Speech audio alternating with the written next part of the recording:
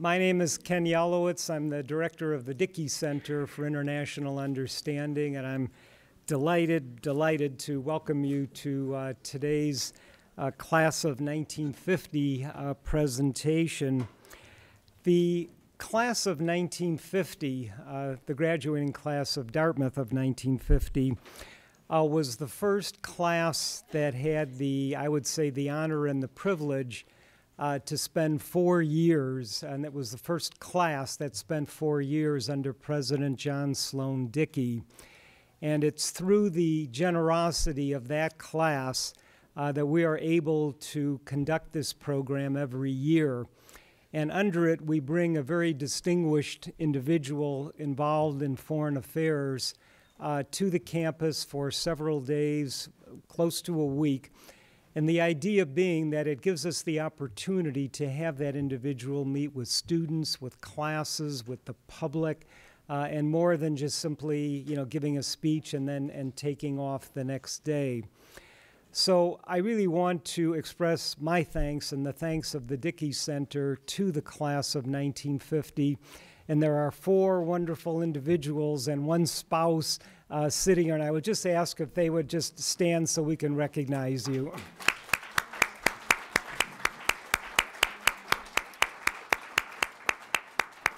You know, John Sloan Dickey uh, told uh, the students at Dartmouth uh, to learn about the major issues of foreign affairs, but equally important to go out and do something, you know, about them. And these individuals have lived their lives exactly uh, in that way. Today is a very important anniversary. There's a lot going on, you know, right now. This is the 20th anniversary of the fall of the Berlin Wall. Uh, this year also marks 50 years of the Cuban Revolution and 60 years of the Chinese Revolution. So there are many, many important events. And our speaker today is going to speak about uh, another revolution in, in Nicaragua and why he believes that that revolution uh, has been lost. Um, he is a very outstanding individual. I've had the pleasure to spend uh, close to a day with him now and his wonderful wife, Gertrudis, and I'm talking about uh, Sergio Ramirez. Um, but uh, he is both a writer and a politician for much of his life, but also a politician and a writer uh, for other parts of his life. But he is a wonderful combination of, you know, these two um, professions, if you will. And he is a Nicaraguan, as I said. Uh, he is spending uh, this term at uh, Harvard, uh, where he is uh, teaching in the Latin American Studies program for the fall of this year. Um, he was vice president of Nicaragua from 1984 to 1990 during the period of the Frente Sandinista de Liberación Nacional, the FLSL, FSLN uh, government. And in 1995, uh, he broke from that organization to form the Movimiento de Renovación Sandinista, the MRS. And I'm sure that that will be, you know, the major subject of, of, of his discussion today, uh, that process and why he broke with it. Uh, he has written many, many books. Um, I won't mention each of them, but they've been translated into 15 languages, and he has received many awards, uh, including the uh, Premio Internacional Dashiell Hammett and the Premio Internacional de Novela um, Alfaguara. And please join me in giving a very warm Dartmouth welcome to Sergio Ramirez.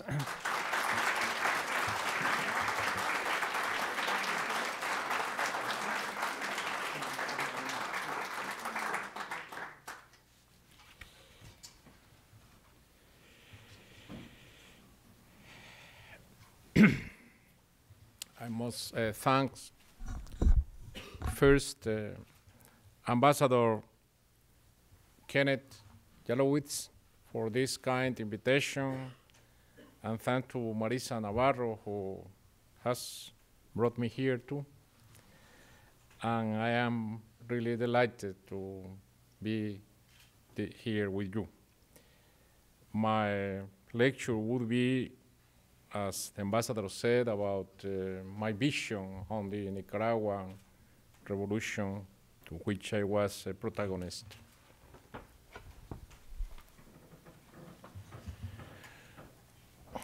One I some five years ago, in April 2004, a man was stabbed mortally in a cantina fight in the district of Monimbó in Masaya. The victim, Manuel Salvador Monge, El Chirizo, was 55 years old. The assailant, a teenager. According to the police account, the incident that led to the death was the result of a dispute about which of the two was more of a man. The teenager was unaware of the caliber of the man whose life he had taken, unaware that El Chirizo had been a member of the command unit headed by Eden Pastora that sensationally captured the National Palace in Managua on 22 August 1978, one of the decisive events in the fall of the Somozas dynasties, the dictatorships in Nicaragua. An anonymous hero, a hero of the revolution that triumphed on July 19, 1979, poor all his life and now forgotten, had fallen in an obscure quarrel between drunkards. But what has become of the revolution El Chirizo and so many others fought for? A traveler who returned to Nicaragua after these 30 years, or who arrived there for the first time, would be forced to wonder if there had ever been a revolution in my country. There are no visible traces except for the increasingly confused rhetoric of the Frente Sandinista de Liberación Nacional.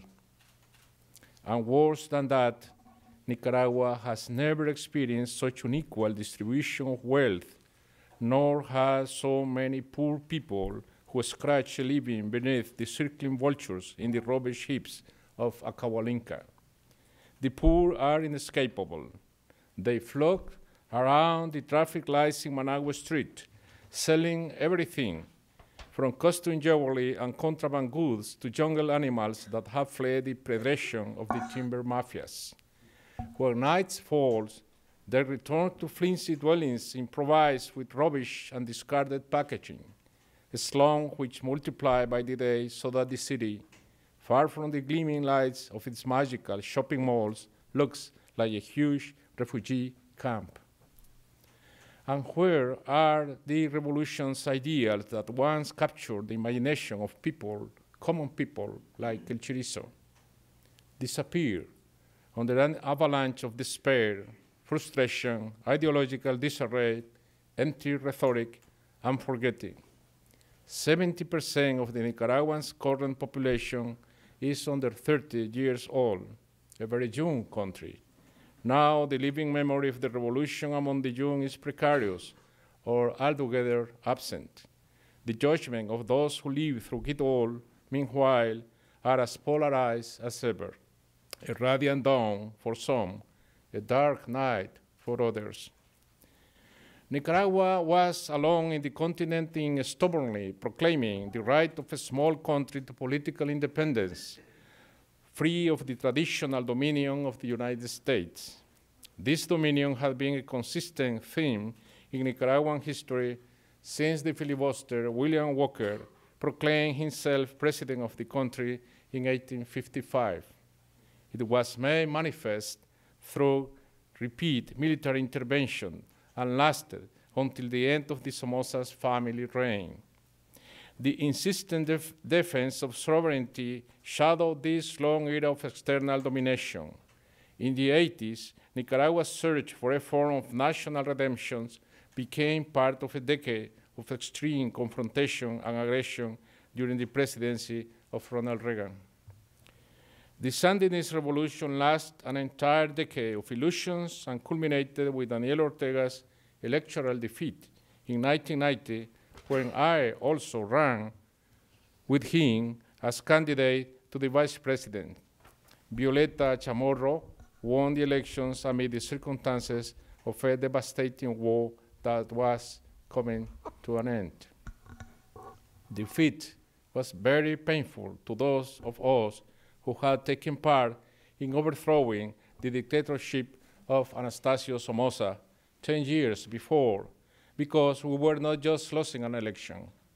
The defeat meant the collapse of a political project of profound transformation which had been frustrated by a war that, though fought between the Sandinista army and the army of the Contras, was mainly a war between us and the Reagan administration.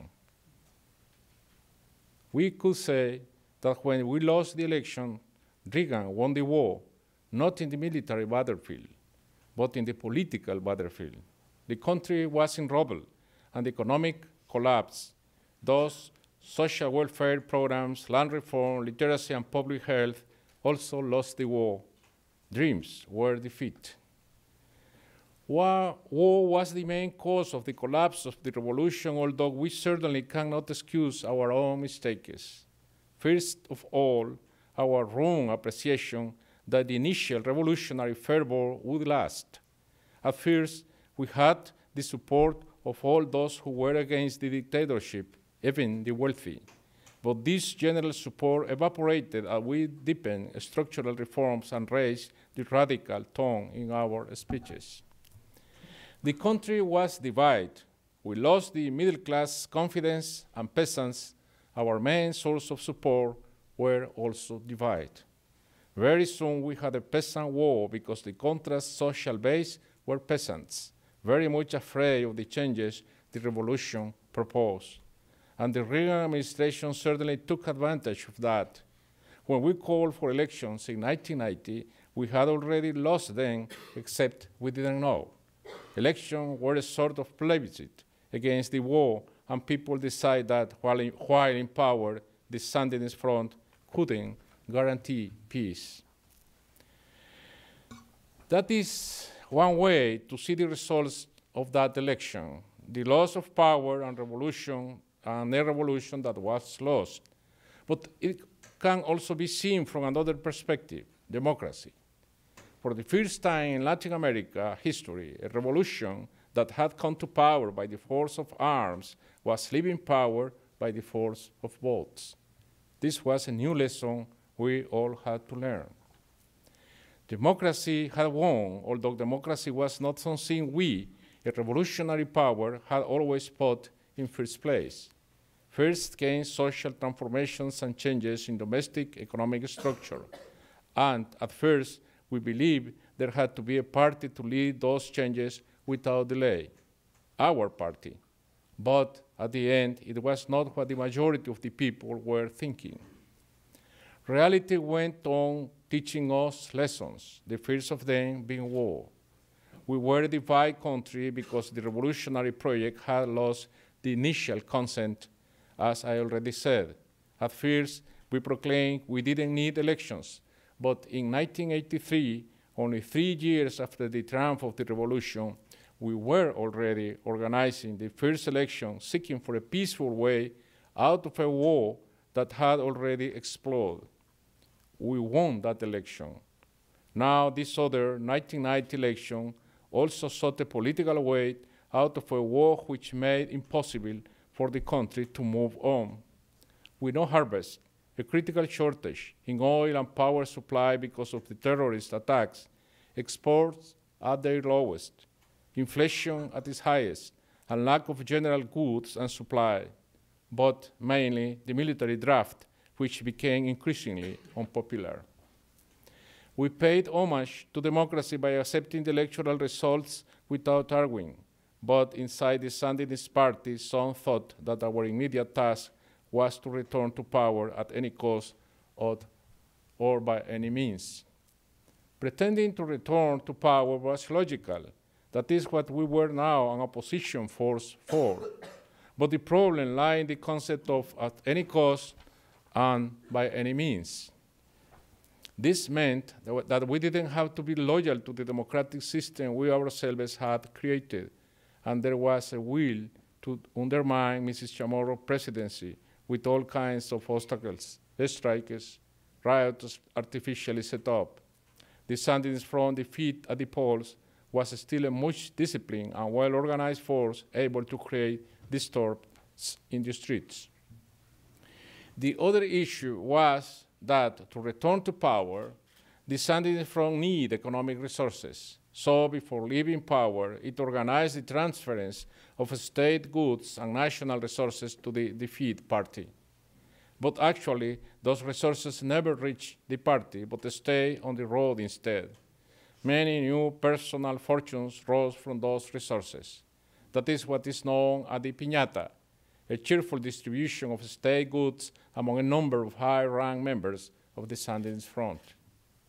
None of those people were expelled from the party, nor were they sent to trial, not even were they subject to any disciplinary measure for their ethical violations, and that caused an even worse collapse, that of moral values. The Sandinist Front had always been a party that preached personal detachment to wealth and material goods. When it lost moral credit, it truly lost everything.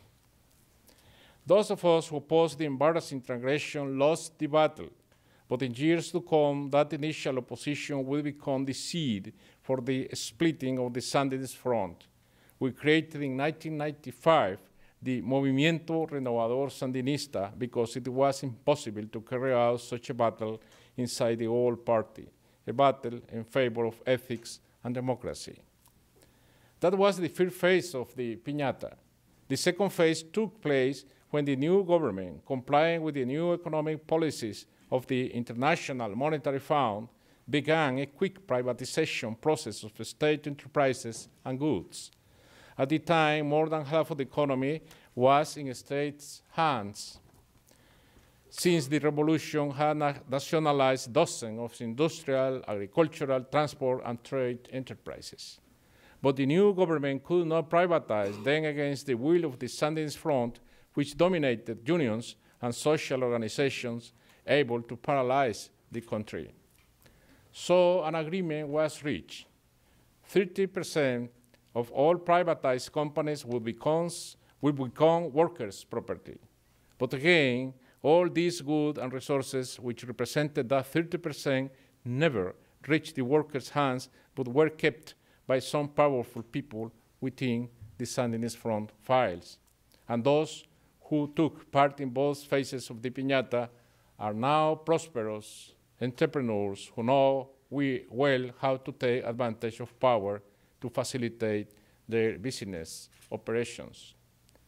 Since 1990, Daniel Ortega persistently presented himself as presidential candidate and was defeated again in 1996 by Arnoldo Alemán, chief of the Liberal Party, and in 2001 by Enrique Bolaños from the same Liberal Party, until finally, in 2006, he fulfilled his old desire to return to power, winning the election with 38% of the vote. He won because there had been a conspiracy to reform the Constitution to allow him to win in a single round with such a precarious majority. The second round was in this way not necessary and so was the requisite to obtain more than 50% of the votes to be elected president. And such thorough reform of the Constitution was only possible because of Ortega's deal with Arnoldo Alemán, the corrupt leader of the Liberal Party, who in 2003 was sentenced to 20 years in prison for money laundering according to illicit acts committed during his presidency. That pact allowed other core reforms to the Constitution.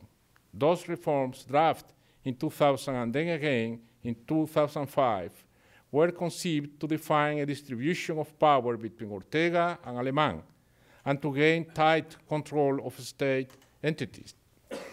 it facilitated submissiveness of the courts of justice to the personal will of both signatories as well as submissiveness of the electoral system and the controller's office.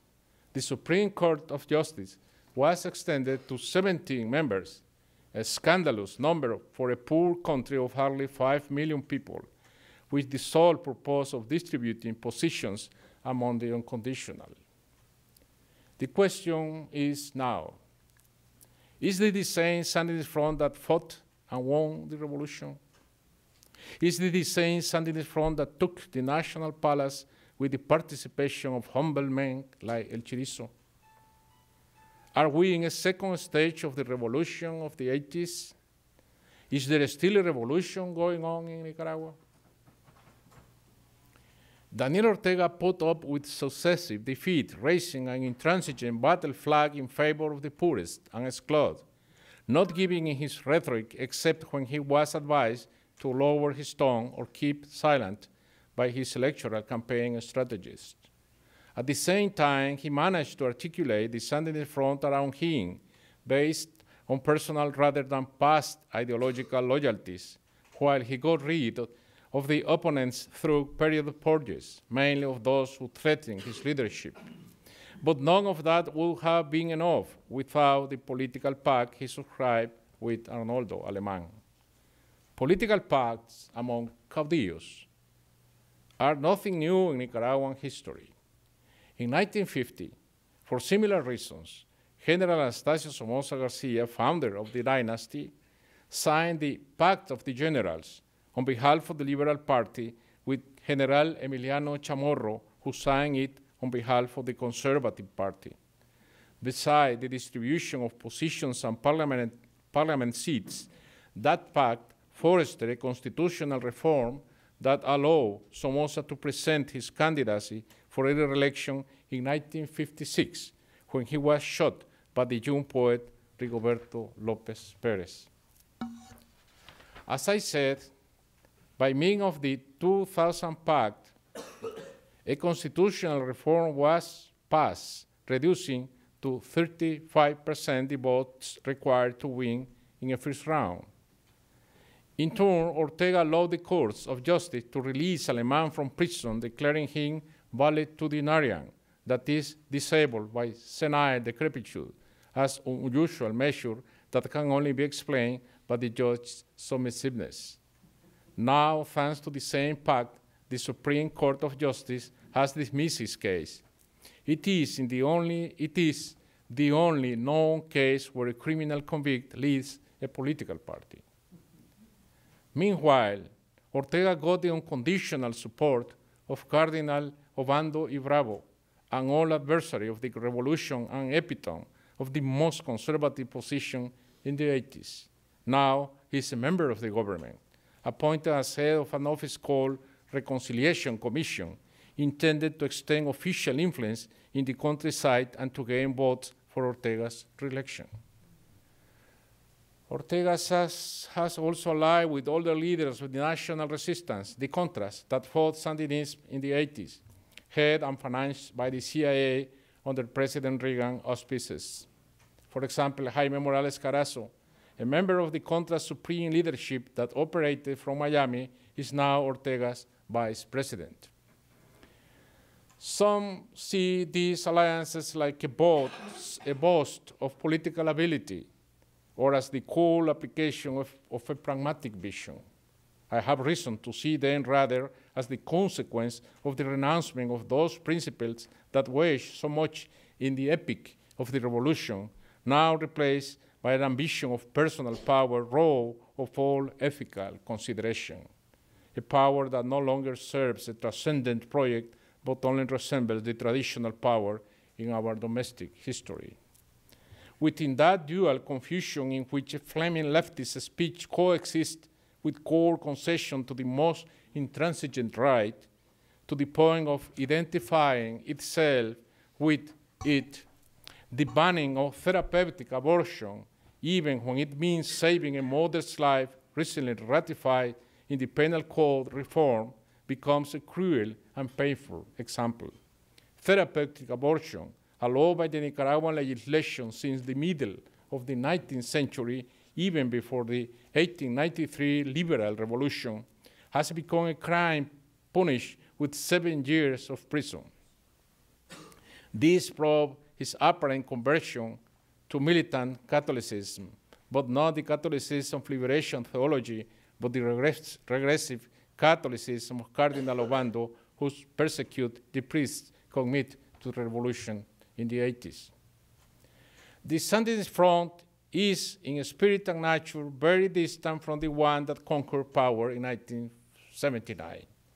It is very different from the Sandinist front that along an entire decade fought fiercely to impose a popular program and that, in spite of errors, false conception, and multiple obstacles, was inspired by that mystic with deep ethical upholds that has now been replaced by ambition for personal power and greed.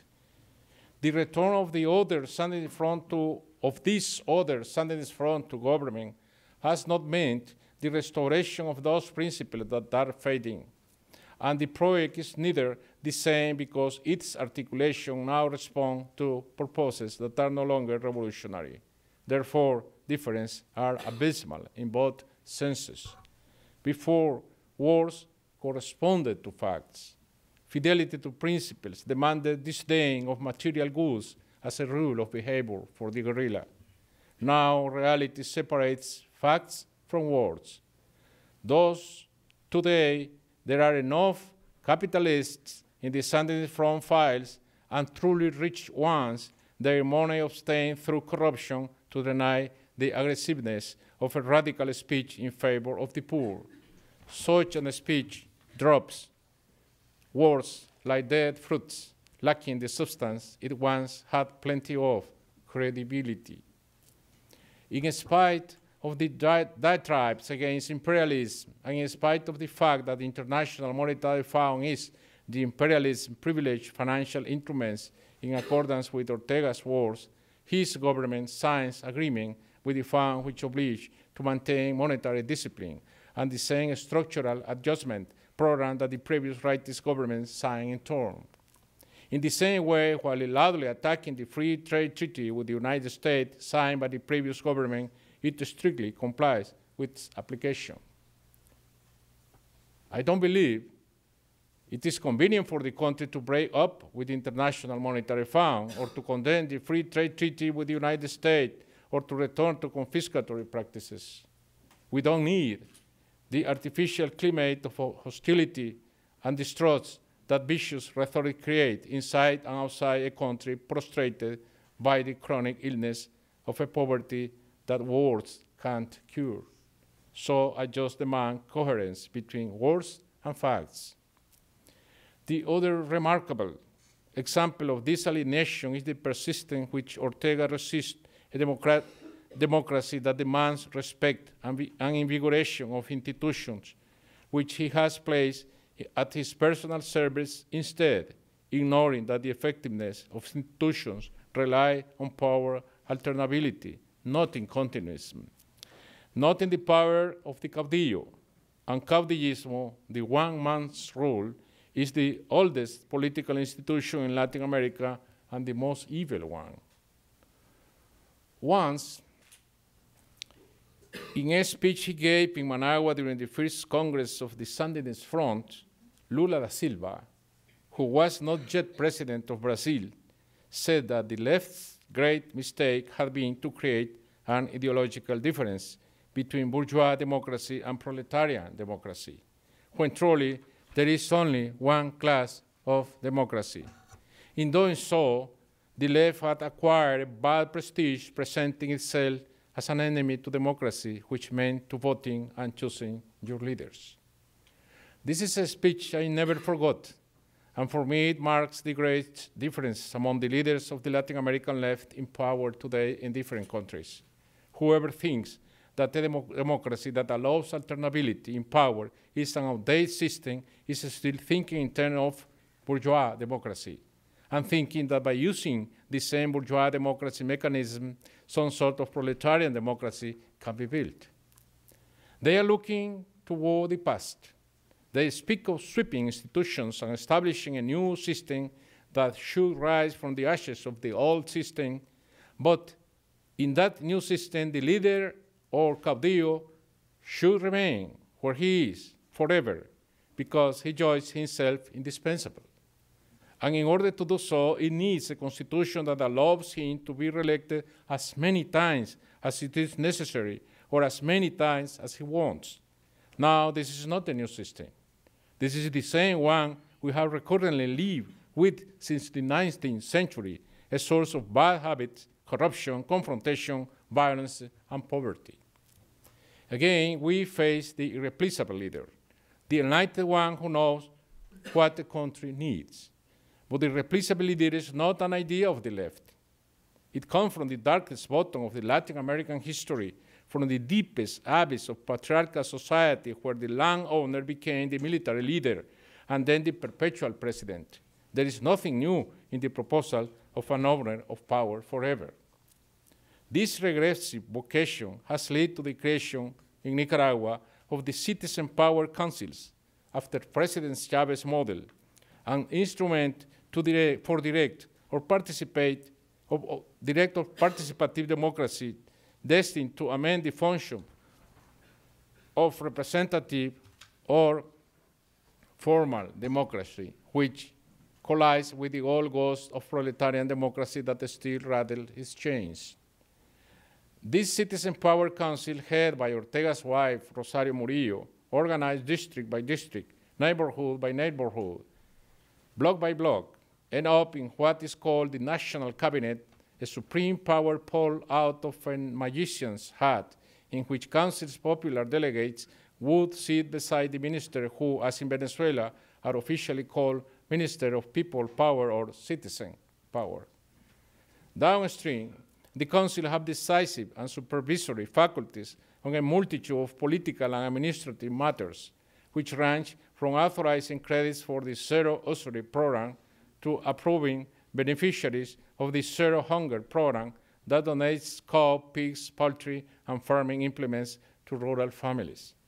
They can also demand the removal of a public officer at all levels, and it has been officially announced that they intend to have voluntary surveillance functions in the territories complementary to those of the police corps. These committees are not pluralistic entities accessible to the diverse sectors, sectors of the population.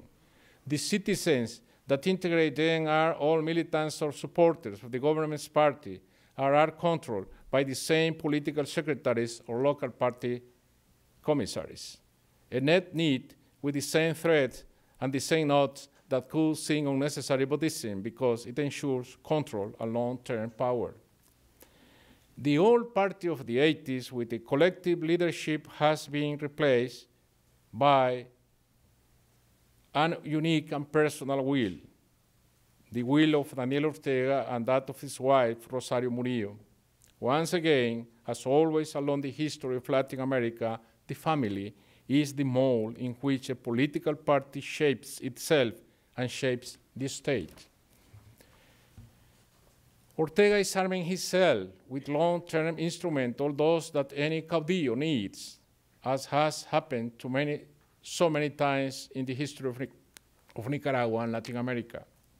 The citizen power councils are a prop, but if he wants to stay, as it seems, he will also need the constitutional reforms that allow his, him successive elections. For someone who has been elected with 38% of the votes while having a polarized majority against, the search for consent should be a necessary act of sound judgment.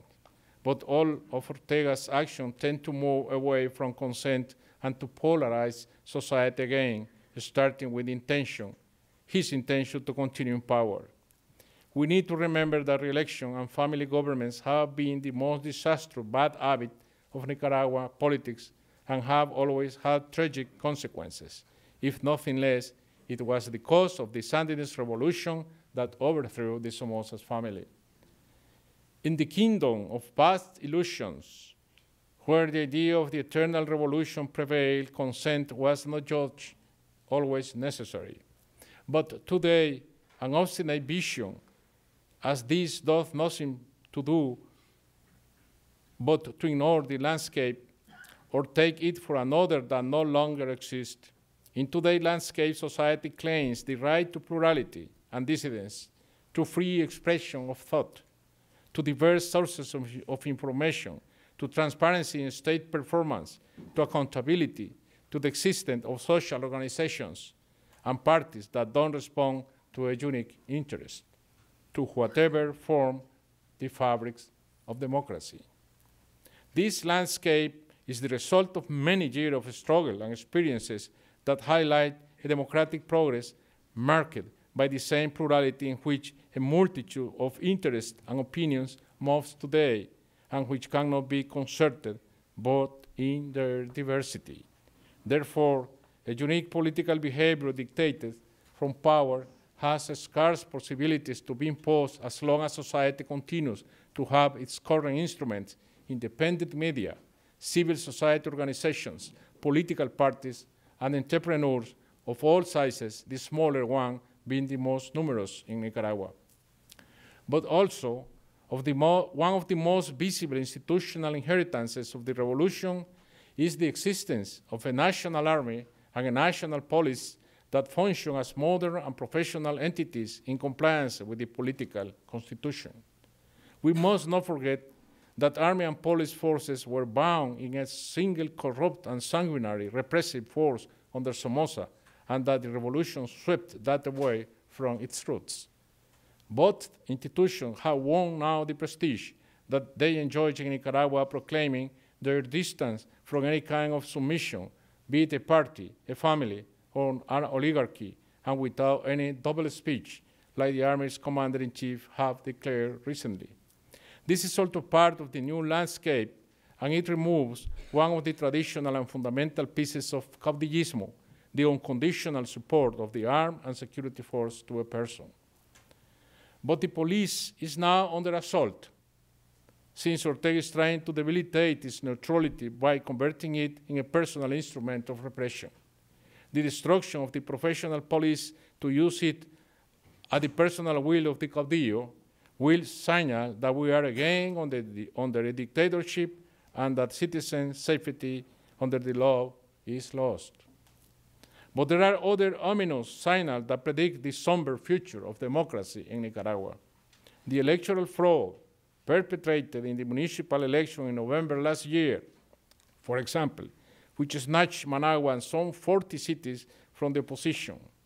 The electoral machinery is under Ortega's absolute control, and he wouldn't doubt in using it to ensure election now the Constitution has been suppressively reformed last month the Constitution of Nicaragua prohibited presidential elections.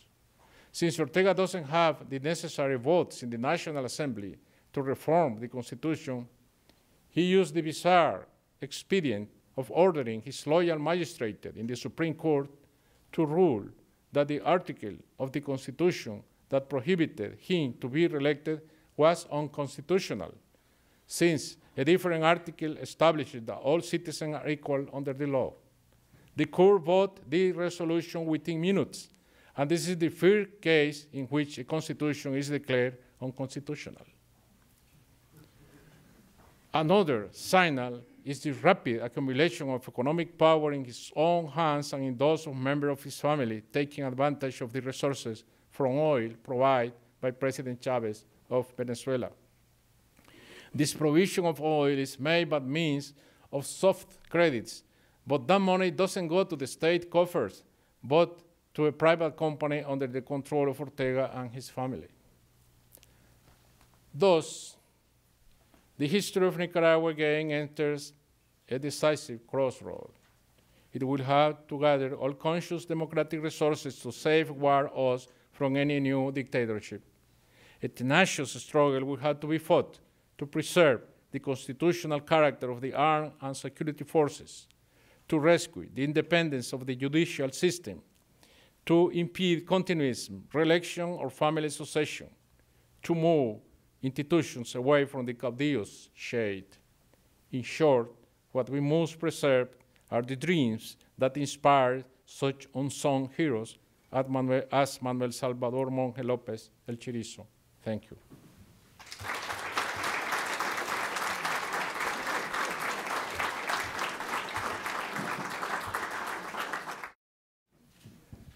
Uh, good evening. Um, I know during your speech you were talking about um, the movement towards caudillismo in um, in Latin America, and I was just wondering what uh, what you think of the situation that's unraveling in Honduras right now, in terms of Zelaya and all that. Well, Presi- President Chavez uh, is the leader of a group of countries in which uh, political chan- changes are going on Bolivia, Ecuador, Nicaragua.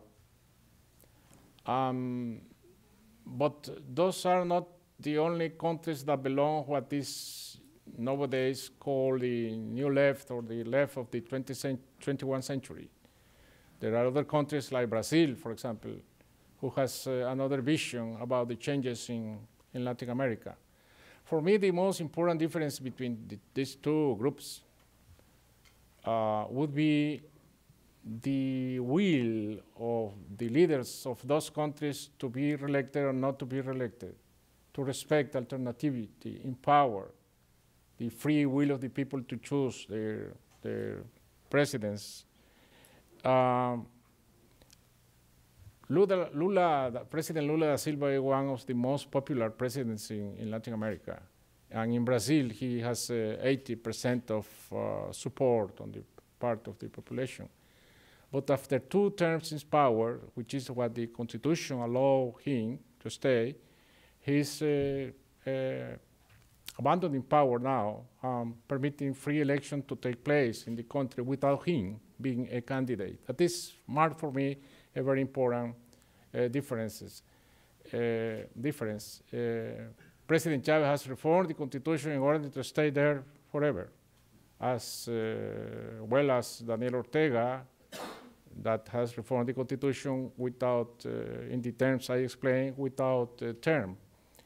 And it has not to do with democracy. And I think that social changes must have to do with democracy. For me, it is the, the, the, the difference.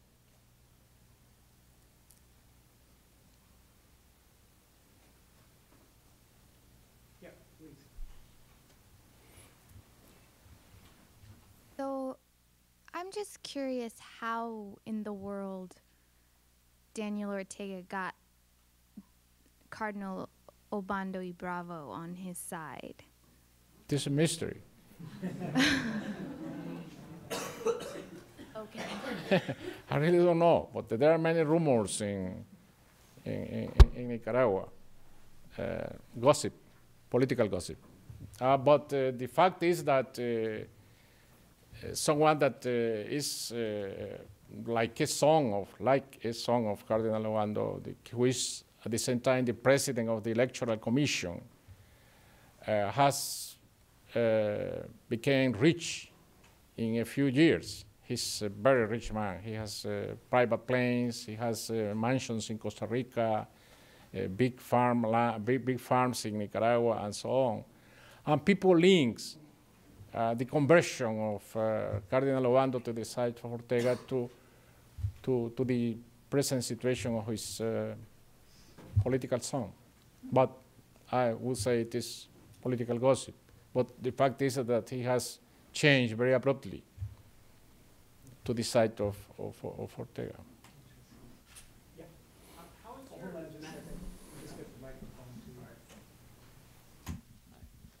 Hi. Uh, how is your um, how do you think your message of sort of disillusionment is currently received uh, in Nicaragua? How do people, you know, react to you? you know, the majority, immense majority of the people is against uh, the possibility of a new dictatorship, against re-election. Uh, 60% of the population. And to give a political sign, they vote massively against uh, the candidates for, of Ortega in the municipal elections last year. But there was that's enormous uh, electoral fraud enormous electoral fraud, which signals, signals are visible till now in, in Nicaragua. It was a public fraud. But uh, the problem is, is uh, to, to put all those voters together. Um, now there are different political parties that take a quota of those uh, voters uh, but uh, last time all voters were together were in the municipal election. We're going to see if in the future they can, they can be together. But uh, it is, it is uh, really difficult that we are not going to have a new electoral fraud in the presidential elections in two years. Um, I, I am afraid the people in these conditions are not going to, to show in the, in the ballots.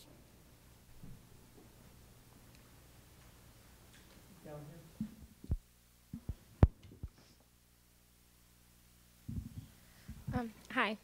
Um, I just wanted to know where are you living these days? I guess other than Boston after the semester, and uh, what are you doing to oppose Ortega? Mm, well, I will be in, in, in Harvard till the beginning of December when I am returning to, to Nicaragua. Uh, I am mainly a writer. I am not participating anymore in politics. That, is, that doesn't mean that I don't give my opinions, that, that I don't uh, speak publicly and freely criticizing the government and criticizing Ortega. Till now, I really don't know how, how, what is going to happen in the, in the future if I are going to have the possibility to live in Nicaragua and to exercise my critique against the government in Nicaragua. I really don't know because uh, repression is uh, hardening now in the country. Public manifestations are repressed by mobs in the streets. And uh, I really don't know if uh, we, we, the critics of the, of the government, could in the future be free to express our critics. Really don't know. Students, any other student questions? Uh, Then we'll open it up. Uh, I saw a hand down here. Yeah, please. I just wanted to ask, uh, do you have a- any kind of a free press in uh, Nicaragua? Yes, we do. Yes, we do. Uh, we have the, the, two, the, the, the two papers in the, in the, the country, La Prensa and El Diario, both uh, have a very critical position against the, the government. For the government, it's uh, easier to take actions of repression against the TV programs and radio programs because they depend to operate. They, uh, they, they depend on licenses, public licenses. They must receive every every five or four years, and then under the threat of being uh, uh, suspended from those licenses, licenses, I think they are afraid. Uh, but not the papers, not the papers. Till now.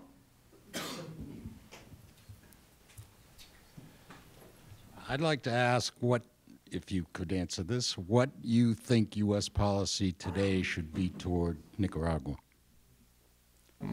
given our wonderful history. Well, I don't see the government of the United States is supporting a new dictatorship in Nicaragua now. I, they, they are not supporting Ortega. They are, I, I, I, think, uh, opposing, opposing uh, uh, Ortega. And uh,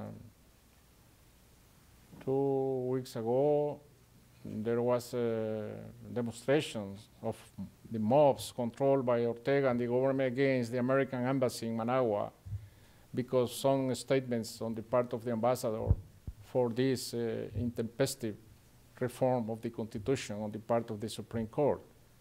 And then they were accusing, accusing the ambassador of uh, intervening in the, in the internal situation of the country um, and, uh, and so on. Um, there was a program, very important program, uh, developed in the western part of the country, the Millennium Program, I, I think it is the name, the Millennium Program, which uh, was designed to build infrastructure and to assist uh, peasants in technical matters and so on. And the government of the United States uh, canceled this program last this year because of the fraud of the elections municipal elections last year. This is the that is the real situation, and the government of the United States has been against the coup d'état in, in, in Honduras also. Um, I really don't know. We must have a very constructive relationship, uh, not uh, seeing to the past, but to, but to the future. Uh, I, of course, the, the, the policies of uh, President Obama shouldn't be the policies of uh, President Bush or President Reagan in the 80s.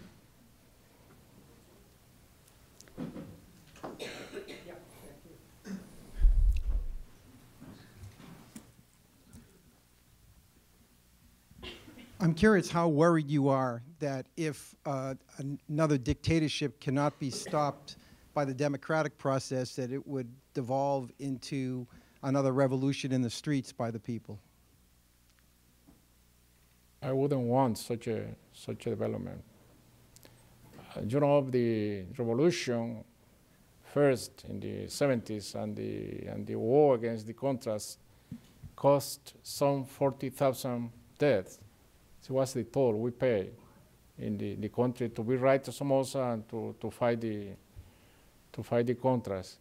Uh, I hope this situation is going to be solved uh, peacefully. This is my hope.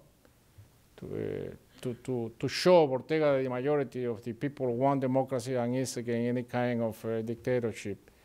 And, uh, and I, I, think it could be done through civic protest in the streets, massive protest in the in the street, but but but, but not by uh, through any kind of uh, bloodshed again.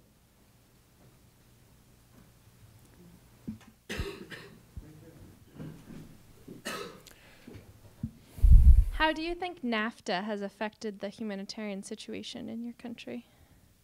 I think NAFTA is a little marginal in Nicaragua. There, there, there are some sports that have been given in, uh, from Nicaragua to the state, textiles and so on, that are under those quotas, free trade with the United States. But it is not changing very, in, in a very radical form the economic situation of the country. Um, and the Nicaragua is not a rich country, you know, then uh, on the other place, uh, the country is not taking advantage of all the advantages the, the treaty is offering the country because it's not, not had the, the economic capacity to, to do that. Yes. Well, um, first, thanks so much for coming once again. Thank you. And I guess my question would be, you mentioned earlier that um, you would prefer a peaceful revolution. And I was wondering what steps do you think could be taken? Like, is there a way to make ensure a clean election or anything that really could help in that situation? Well, you know, when somebody is planning to to put an end to democracy, to falsify electoral results, to reform the constitution in such a dirty way, uh, this somebody is not thinking that uh, people is going to react it is not in his or her calculations uh, to, to see that people is going to react. And, and, the people in Nicaragua is going to, is going to react because uh, democracy is essential to the country now. And I don't see people accepting to live under a new dictatorship of, for the next 20 or 30 years. That would be, that would be impossible. That's all, uh, that, that, that are not the, the times now. Those are, those are, these are times of, for different things, for democracy, for liberty in Latin America.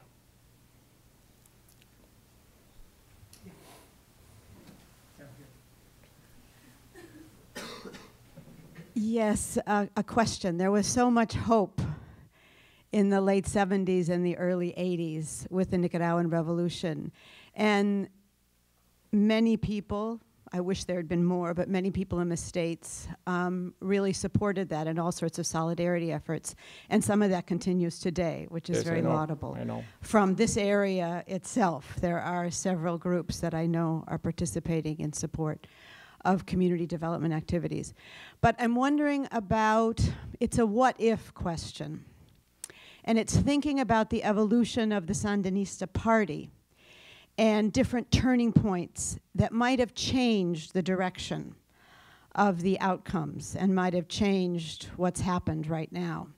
And I'm thinking, for example, in your book, Adios Muchachos, there is a scene that was to me very compelling, and it's a scene when the Frente Sandinista and the National Directorate of the Frente, the nine men were coming together to think about who is going to become the head of the army at the very beginning of the revolution in 1980, I guess, 1979.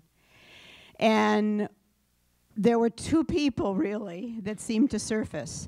One was a very modest man who was named Modesto, and who, instead of Modesto taking that position, Humberto Ortega got that position because he raised his hand and said, I accept, even though no one had asked him. Right. And he was Daniel Ortega's brother. Yes. And so that was a turning point to me in the history and the evolution. And I wonder if there were other turning points in that history that might have made a difference. Yeah. Well, I think uh, uh, Sandinism uh, is a permanent force in Nicaraguan history. I don't see the Sandinism disappearing and being replaced by other kind of political force.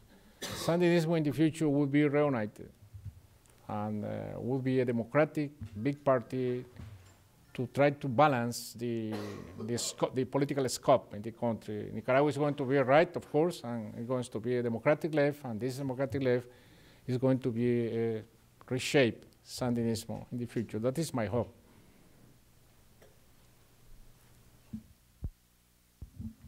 Hi. Um, sorry, I can't really talk, but I was just wondering. Um, I know in the revolution in 1979, um, students were a huge part of it, both um, in their ideological ties to the FSLN and in the fact that they organized a lot of the mass protests. Um, with sort of the rising, um, kind of bubbling opposition to Ortega, what role are students playing now, and what role do you see them playing in the future, particularly if there was um, voter fraud in the next election or something like that? I, I didn't get very well the, the question. Did, did you get the question? Uh, just about the role of students. Do you see students playing a greater role in Yes, the, the, the universities are under, the public universities are under the tight control of the, of the government. And the student organizations too uh, are controlled by the, uh, by the uh, party, the, the party in government. But there is an enormous unrest uh, in, the, in the student population in the, in the country, and they are against uh, any kind of dictatorship, and uh, they are pro-democracy, I am sure and they are going to be a very key force in a future struggle for democracy in Nicaragua, in all universities, both private and, uh, and public universities.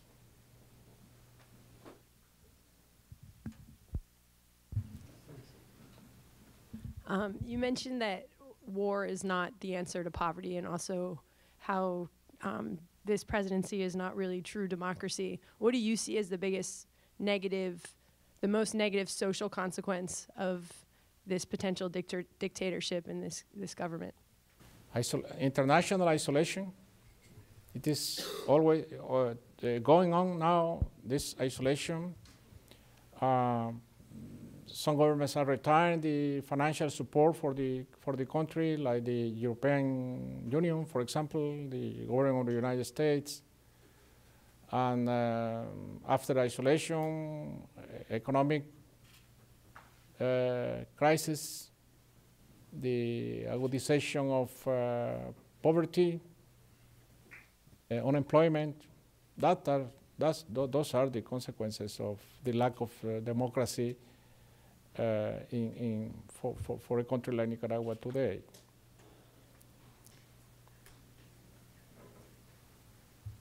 I wanted to uh, ask a question. Please, you could. are all the right. Yeah, we'll just move over here.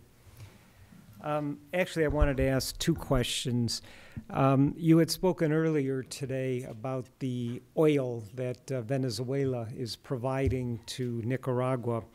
And I was wondering if you could describe that, what you said earlier. And, but my question is whether or not, somehow or another, if that oil um, generosity on the part of um, Chavez is removed, if that would really uh, cause the collapse of the economy uh, in Nicaragua. And the second question I wanted to ask is, you know, I, I'm a student of the former Soviet Union, not Latin America, But in the former Soviet Union, there have been what, what we've called the, the color revolutions. There's been the Rose Revolution in Georgia, uh, the Orange Revolution in Ukraine, uh, and those have occurred where you know conditions are, are somewhat similar, uh, but where the opposition you know has united and where there has been, you know, some involvement of, of Western democracy advisors, you know, to advise, um, you know, the local political parties on tactics that have succeeded in places like Serbia. And I was wondering uh, if you could see the possibility of that happening uh, in, in Nicaragua as well, a, a sort of a color revolution similar to what's happened in Europe. concerning your, your last question, it is pre precisely what I think is going to happen. A, a peaceful movement in the streets, very colorful and peaceful, peaceful movement in the street are going to remove this uh, kind of government we have. And um, I, I, I, think the next elections in two years are going to be decisive for in this, uh, in this situation because people impede to go to express the, their vote, their opinion in the polls, uh, people wouldn't like that situation to be suppressed of this uh, of this right. Then we are going to have developments in the next uh, two years, decisive developments in the next two years, I think. Uh, concerning Venezuela, uh, the country needs, Nicaragua needs uh, some 10 billion uh, barrels of oil per, per year. It represents uh, some 800 million dollars. 800 million dollars. The, the barrel of oil is now 70, 75. Some 800 million dollars. And the, the half of this amount of money goes directly to the hands of Ortega because uh, in accordance with the agreement signed with Venezuela, 50% of the, of the oil uh, is uh, used by the recipient country for social and development programs. But I was explaining during my lecture, uh, this money doesn't go to the public uh, treasure, but goes directly to a company under the hands uh, of, uh, of, of, Ortega. It is a lot of money, for $400 million per year, to be spent as uh, Ortega wants. Uh, he used this money to help people. He used this money to to build roads in poor areas, but uh, he used this money for private uh, business too, because no, no nobody is controlling. It is a very bizarre situation. Nobody is controlling him in the using of this money. And it is the money which the country is going to pay someday to Venezuela because it's, it's, it is part of the external debt. In the, in the uh, accounts of Venezuela, it's uh, is inscribed as, as, as uh, external debt, not for Ortega. And the, the, the, the, country has not control of this, uh, of this enormous amount of of money.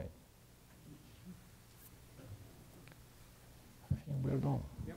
Good question over here. Um, in regards to the money that Venezuela has supported with Nicaragua, a group of us did visit one of the hospitals in Managua last year, and we did see the wonderful CT scan um, that was donated, and that was really getting a lot of use. So at least we saw at least a glimmer there um, of some utility to the people. I'm just mentioning that because we observed it ourselves. Um, I'm very curious, in addition to Venezuela, who are the main donor countries for Nicaragua right now? Um, I don't know how much U.S. support you're getting. You mentioned the EU a few minutes ago. Um, where does that stand?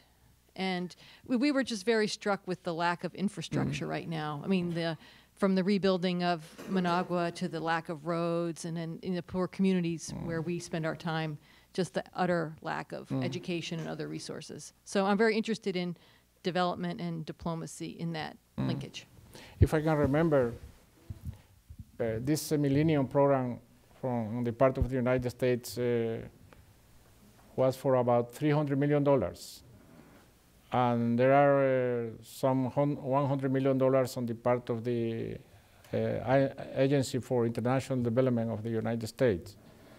And then there is the European Union contributing with some $150 and the different countries of the European Union, principally Spain, which is a very big donator for to Nicaragua. That are financing, for example, Spain now, the rebuilding of the La Chureca in Managua, which uh, has to do with this uh, disposal site. Uh, uh, it is about for about uh, 60, 60 million euros.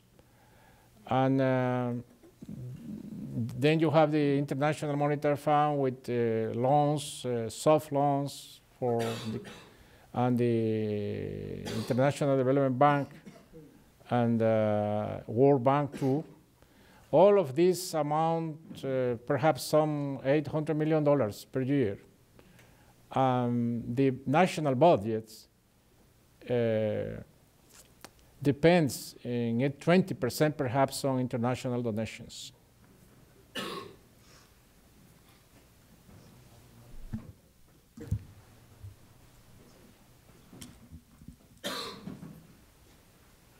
Hi. Uh, yeah, so you're just talking about the IMF and the World Bank now uh, in terms of its activities in Nicaragua. I was wondering if the IMF and World Bank um, helped Nicaragua while Somoza was still in power, and if so, how that affected, I guess, your efforts when you guys were still in the opposition. Um, Well, you know that the, the, the opinion of the International Monetary Fund is key for other international financial organizations to help or not to help. And now the, the, the, the International Monetary Fund was negotiating with the government an agreement for, that include the stabilization of the national budget, that includes uh, some laws that the, the country must pass concerning the economic financial situation of the, of the country. And the, and the government has uh, complied with all, with all the demands on the part of the International Monetary Fund, and then they have approved the program for next, for this year. And then they are going to disburse this uh, money, which is about $140 million. Then the, the government is in, in, in very good terms, I will say, with the International uh, Monetary Fund. Uh, hi, I was wondering if you could talk a little bit about the corruption level because it seems like there's a lot of money going in, and so if you could talk a little bit about that in terms of and how that affects Mm. the effectiveness of NGOs and so on. Well, you know, there are, we're talking about $500 million coming direct from, from Venezuela through oil. With this money, the country would solve many of its budgetary problems. Uh, problems. For example, all the, the budgetary deficit will be solved with such an amount of, of, of, of money.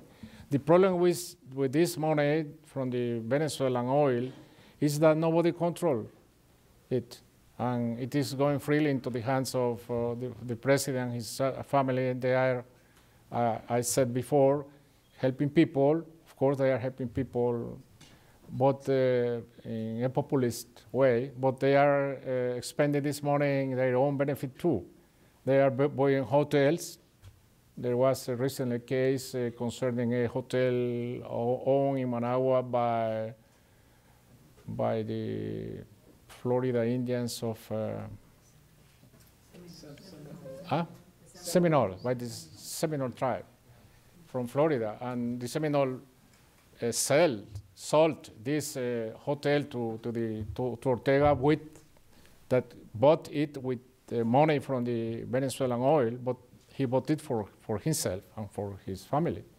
No, uh, everyone knows it in in Managua. And they, the, the Seminoles own uh, a farm, experimental farm, and they, they, it was uh, sold to, to, to Ortega too.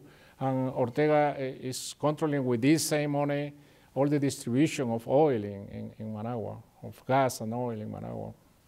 He, he's very quickly building a fortune, like in the case of, of Somoza. Only thing that Somoza spent, the Somoza's family spent almost half a century to build an enormous fortune, and the Ortega's family is building this fortune in very few years.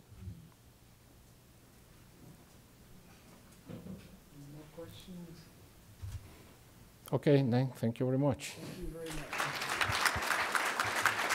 Thank you.